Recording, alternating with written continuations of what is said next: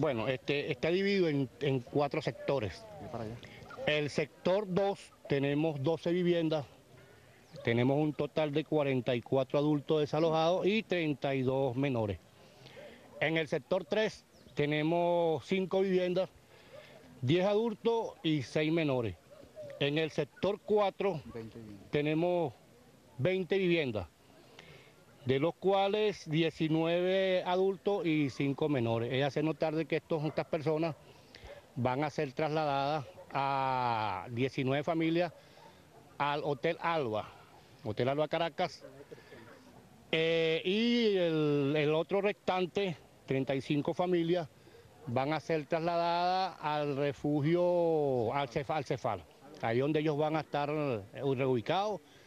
Este, estamos trabajando con el Consejo Comunal, el vocero de acá, el señor Alex- Alex- Alexander Guzmán, el cual tiene toda esa información.